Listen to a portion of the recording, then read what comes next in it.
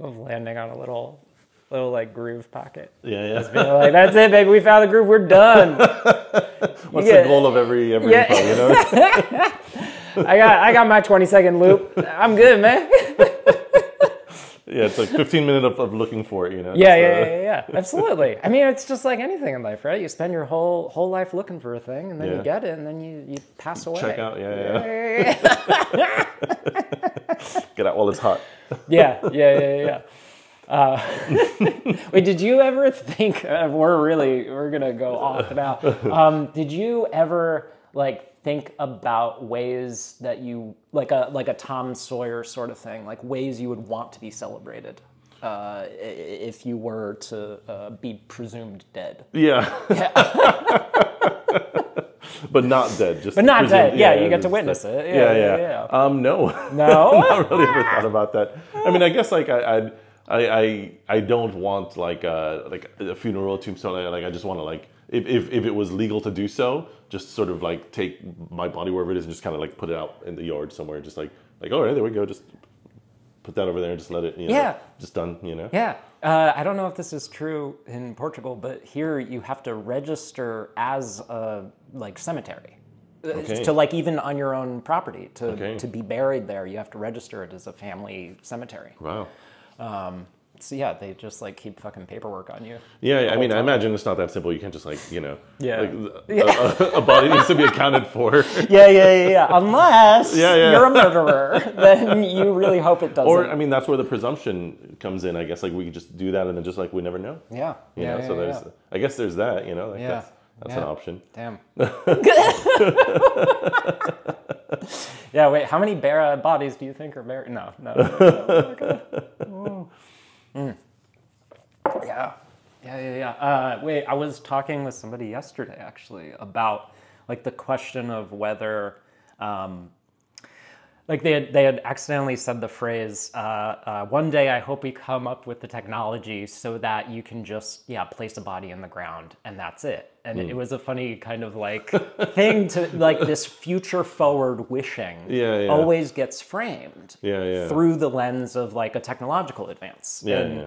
whereas like the the the thing is really just a, a question of mindset right it's just like yeah if we shift our mentality about how we bury people and like we remove the industry of uh, uh, uh, post-mortem then uh, yeah we'd probably be okay with it it doesn't require a technological advance but i am curious uh, Okay. bringing it around Yeah, yeah. we're really ah. um, do where do you feel in your process you uh, use technology to solve something that you ran across uh, uh, in your like uh, acoustic only days? Yeah, I mean, I guess there's like a twofold.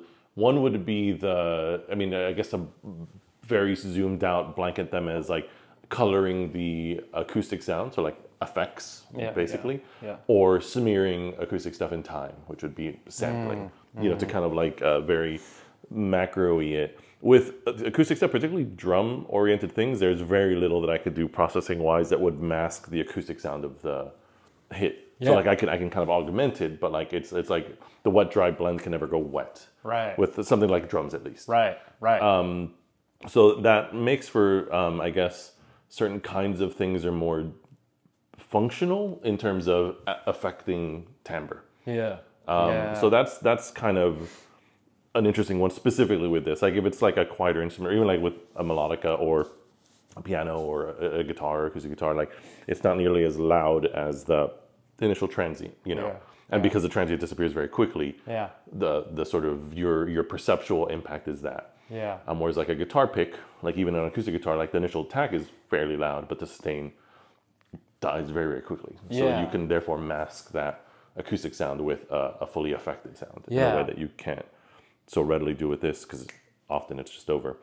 Right. And but I mean like yeah, and if you are like using like an electric guitar, then like the the ratio between uh thing I've done and thing you hear is so like an order of magnitude different. Like mm. whereas a drum it's like, yeah, yeah, you can mic this, but like it on its own, if you hit it real hard, mm. then you hear it throughout the room without any assistance. But like Yeah, yeah. an electric guitar, like yeah, you can cheat it. You can kind of like give it a give it a thwack, and you can have a pedal that Yeah, acts as an intermediary to be like, and the swell, even though the thing itself made as much sound as it can. Yeah, yeah. Um, but yeah, like 40 feet away, you wouldn't hear that initial thwonk. Yeah, I mean, it, it's this is tangent off a tangent, but Yeah. uh, it's interesting now with like YouTube videos and people, you know, like like so take something like a metal guitar, like kind of type things. Um, typically, you don't hear any acoustic sound at all, but often like if, if there's some video and they're like, oh yeah, I'm doing this thing, like, but because they have a room mic and they're talking, in addition to hearing the type sound, you also hear the pick slap Right. acoustic sound of an electric guitar, Right. which is what as a performer you often hear, unless Yeah. you're like in like in mega loud amps. But like if you're in a Yeah, room, you hear that, and Yeah. that's part of the sound of the instrument in a way that um, typically is not heard. But with neo me like mediatization of how this stuff, like viewing someone doing that, Yeah. um, you do hear that, and it's a sound that I think is kind of cool. Hearing specifically distorted guitar, but with the acoustic pick slap of a yeah, string. Yeah, yeah, Um, yeah, yeah. It could be because I like I grew up playing guitar, so that I'm, I like that sound and I know that sound, but it's like uh it's a different thing. A buddy of mine was doing uh like a performance stuff where he, he was doing stuff with like either violin or, or acoustic instruments, but with like a Boss DD6 looper, which kind of does that sort of stuttering, like you push it and for the time it's held, and you release and you go like. Right. And uh, he had done some stuff with like a code-based version because that's just literally digital Yeah. delay stutter stuff. It's not. Uh, it's there's nothing analog about the pedal. Um, and he ended up going back to the physical pedal and using it.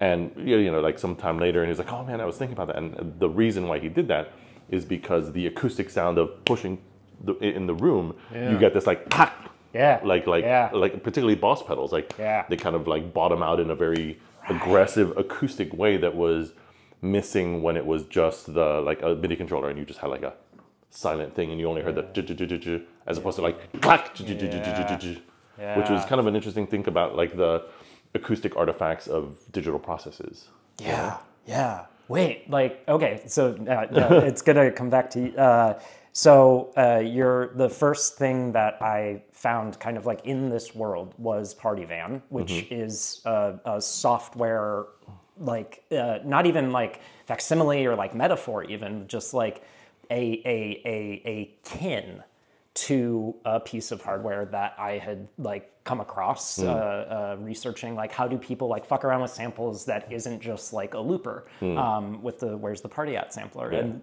so I am curious like as as your your like mythology in my brain is always tied to this piece of hardware that has become like it isn't like part of your kit. It's No, not no. like relevant in the conversation about your work now. Um, but do you find like as you dig into okay right because you also have like a bunch of like modeling stuff with uh, uh, uh, uh, block party like Mm. you have those little modules where uh, the type of uh, compression Oh, and yeah, yeah, yeah. distortion Yeah. how often do you find that you create the digital version of a thing the way that you like to use it how often do you revisit the physical Um, depends. So, like as of late, I've been doing a bunch of updates for what will be uh, another version of SP Tools at some point. Yeah. And for that, I've been making some synthesis stuff. So I've been like, and some of these models I have either hardware or, or Euro module or whatever. So with that, I do do some comparison of like ranges and edge behaviors. You know, so, but that's a specific um, type of thing I'm doing. Yeah. But for I guess to maybe more answer, I guess where the question is coming from. With that sampler, like the Where's the Party At sampler.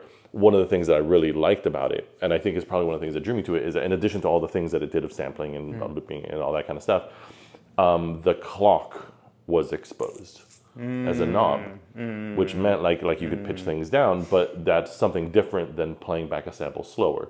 Yeah. And it's something that like that, like that can't do. Like typically, computers are not built to mess with the clock speed. right Um, so a lot of stuff in, in what I've done of the software emulation of, of it, it does do that. So like as you turn the speed, the playback speed down, the bit depth reduces as well, and like the like other things, I, I try to impart that character, which I think is atypical of what you can do with computation, just because that's just not how computers work. Right. But also the the overall macro behavior of a system, like where like with an acoustic instrument or something like that, like a process may be happening, but you everything's like multidimensional. You can't just affect pitch or, or whatever. And I, I'm not like a purist where like that needs to be like always multidimensional, but there's like an intrinsic uh, inter, interwovenness with a lot of acoustic phenomena just because of Yeah. physics and stuff.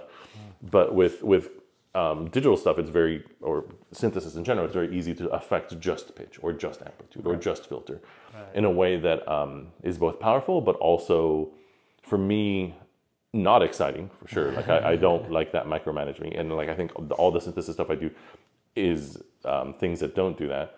But more specifically, I like how the um, there's some kind of parameter that affects how everything behaves, not just a mm. parameter, mm. and not just a macro. Like it's not one knob that's controlling timbre and pitch. Like Right. it, it's it's it's affecting. Like like I- like as if I'm detuning this drum and like I don't want to lower the pitch of the sample playback, but the drum if like the head got floppier, it would physically behave differently Yeah. in a way that would be kind of interesting. So like if there would be like a kind of a thing here where I could like like a timpani or something, the head could go all floppy. That would be really interesting and very very different from having um, pitch to sample playback. Yeah.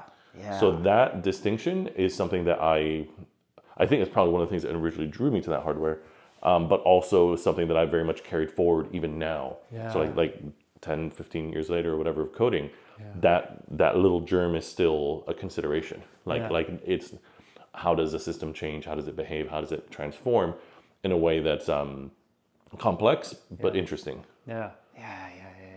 That's a really cool idea. I love the because I think each one of these pieces like tends to get um, kind of subsumed into like like if if if if we were doing this five years ago, I probably have like four more things.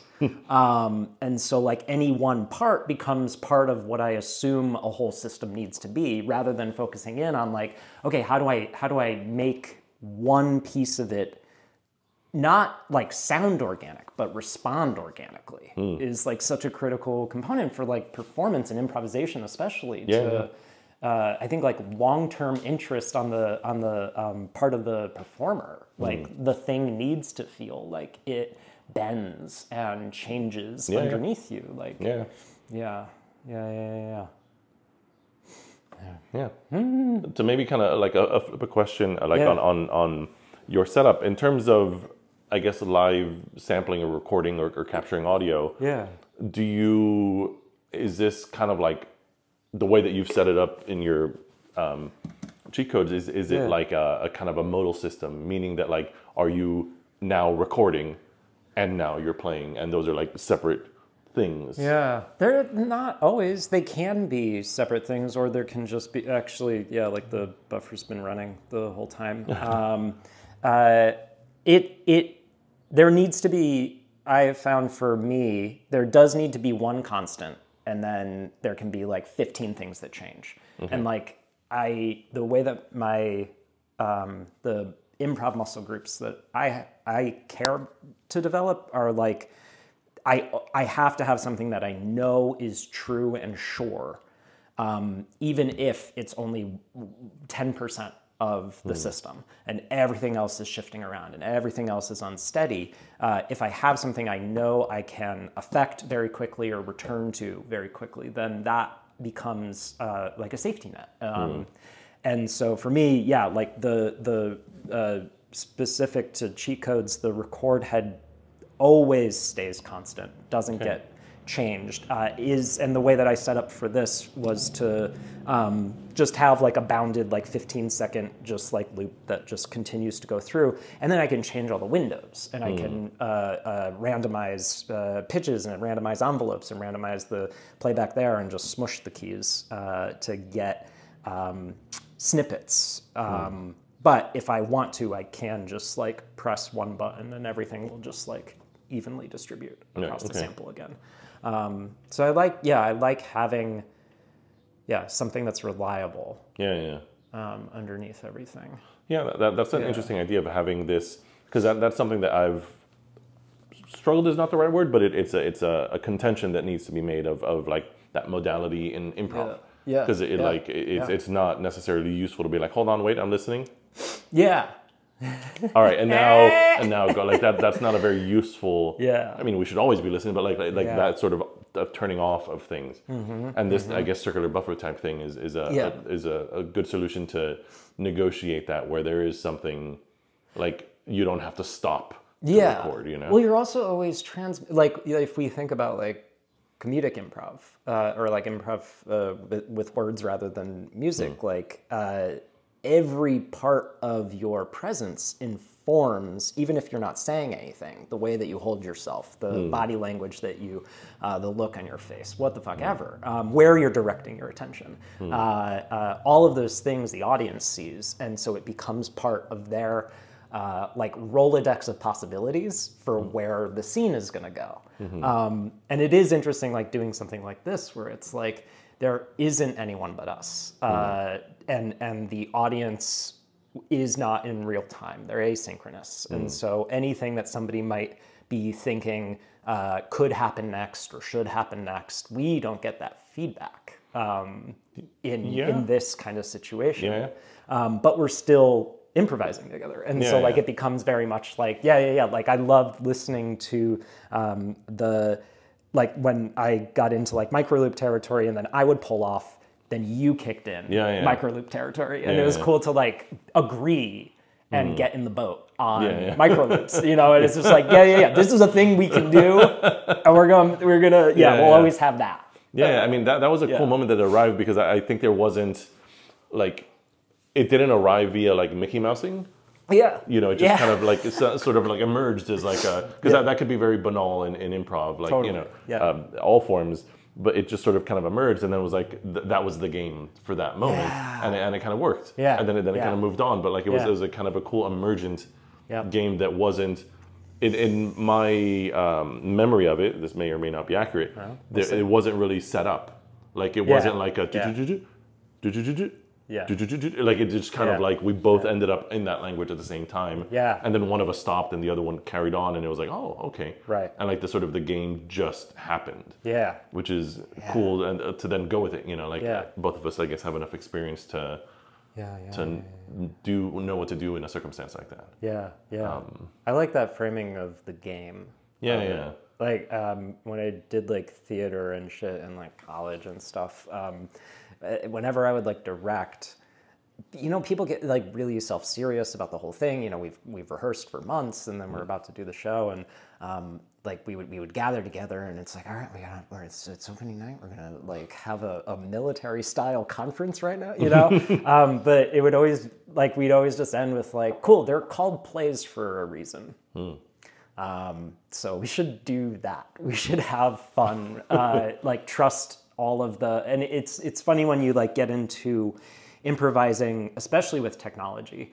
Um, you are relying on like years and decades of uh, not only knowing the interface but having created the the the bounds of the playground. Um, and so there, but it, it is. I I don't know if this is true for you, but like sometimes you know, like even just thinking about going into today, I was like, ah, shit, do I know, do I know what to do? And I'm like, well, motherfucker, you you made the thing you're using.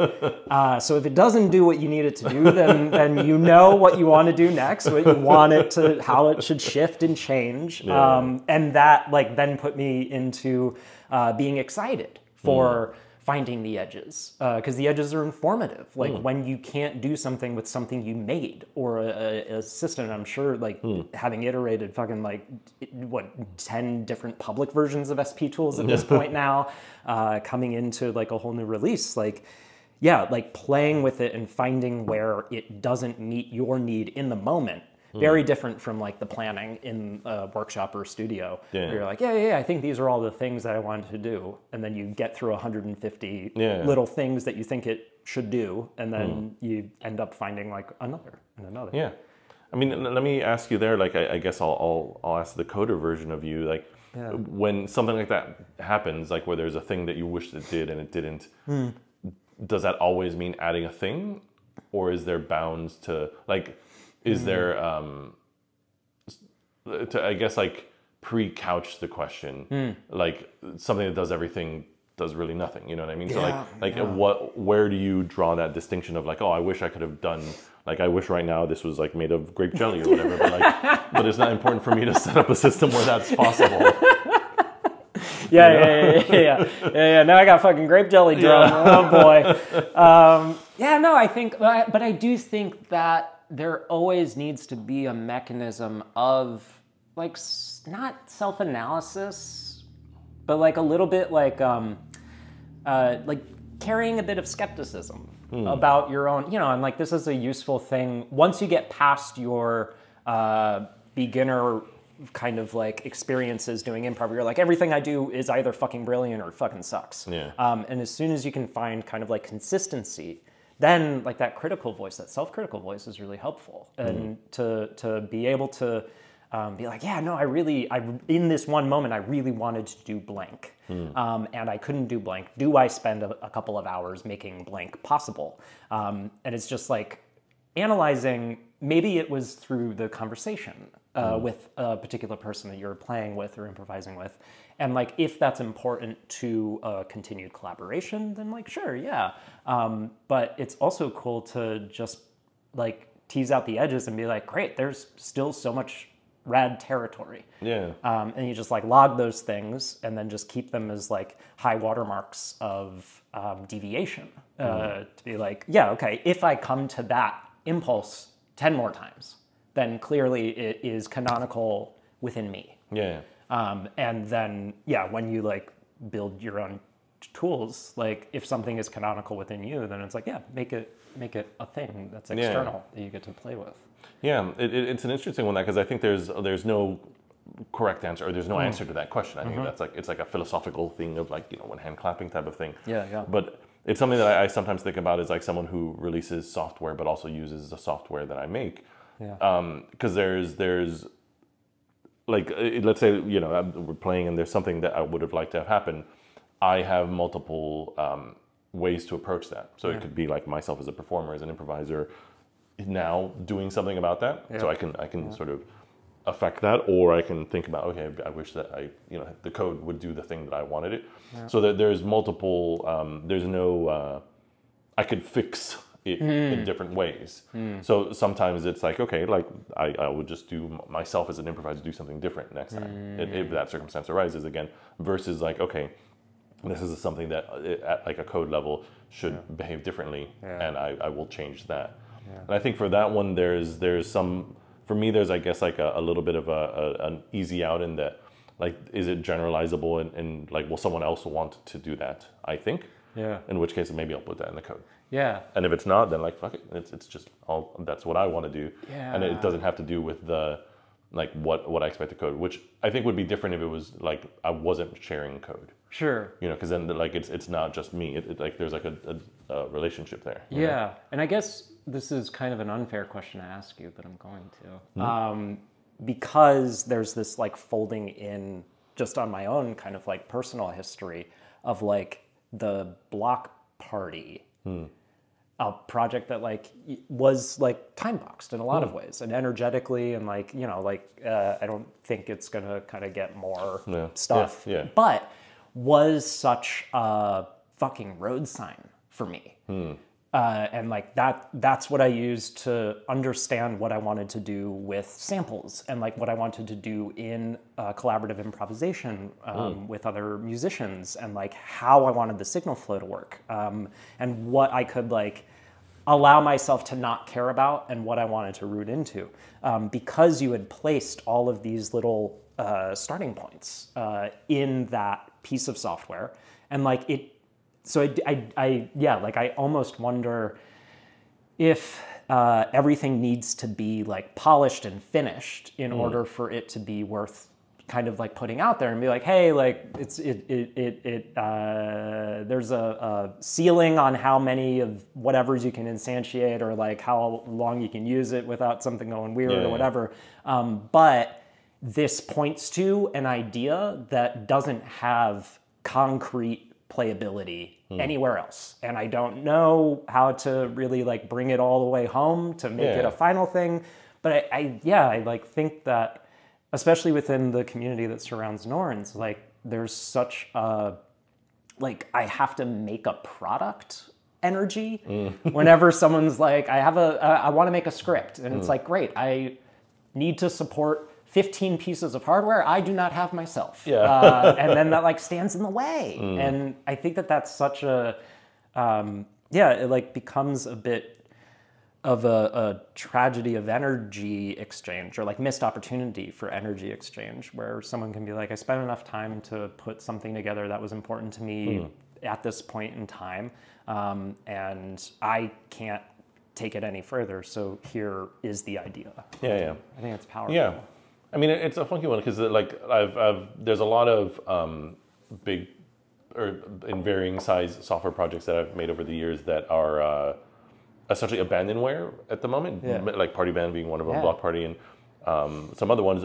But that's mainly just because OS and Mac Max changes. Were like it, it would be a, a, a really big job to make them work now.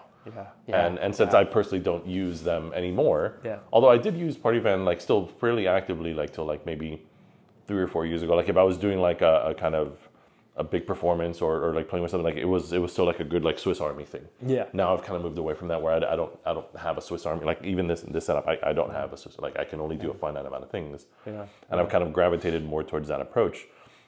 But something like Block Party was interesting in that I, I spent a lot of time thinking that like fingering system. Yeah. And like that was like a cool like Yeah. because it was just like the the 128 or whatever I had gotten one and like it, it was at that point it was too many buttons to like this one is record this one is play it's like I can't like you Yeah. know I mean I'm good at memorizing that but like it's it's that's that's not appropriate like Yeah. it doesn't make sense yeah, so like yeah. thinking of ways to negotiate that where you don't have to and then it, the plan was to do like a Party Van 2 that's where that was going. And i was like okay this is like a good interim. This is cool and it does the things that i wanted to do. Right. people could maybe use this. Right. and and then kind of put it out there. And then i ended up for other various reasons like not building Party Van 2 much further beyond that. Like i sort of uh, did build it and i have a patch of it but it sort of stalled out. Yeah. and then seeing what you did with it, like I was like, oh, that's fucking great. That's like better. Like, like it needn't it needn't to be the like uh, Yeah, no. like what what I had going, but like it, it was a cool. Yeah. I'm glad that that that like um that that idea was of inspiration and has like manifested in like a very like rich and robust system. You know. So like I'm I'm super pleased. Like it, it like I don't need to do it anymore. Like, like you've done it. You know. no, no, yeah, no, and I feel that way about like, yeah, so many things that have happened in the last five years, just in this like, you know, specific ecosystem. Um, that, yeah, it's cool. It's cool that, uh, you know, the open source piece, not from a standpoint of like, cool, this is the free app box, but like from the from the point of being like, yeah, if somebody is inspired artistically from what someone else does, then yeah, you can crack it open and see how it works. And like maybe you can adapt it and maybe you don't have the like command of the language yet. But it's so powerful to be able to look at the guts of a thing and be like, oh, cool, this is how this person's brain works. Because I already agree, you know, and like with you, it was like I already agreed with you, you know, like I, the things that you made, uh, I was because they addressed a, a, a landscape of possibility that I was interested in exploring, and I could get into the guts and see how your brain got from point A to point Z. Z.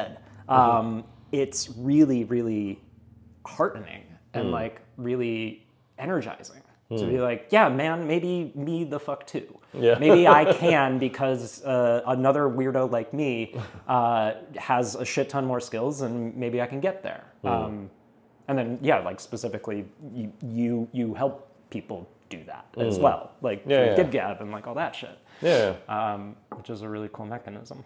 Hmm. Yeah. coffee, coffee pour, coffee shot.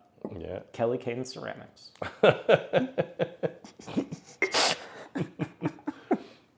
Love brands. Yeah, yeah. um, cool. Shall we play a bit more?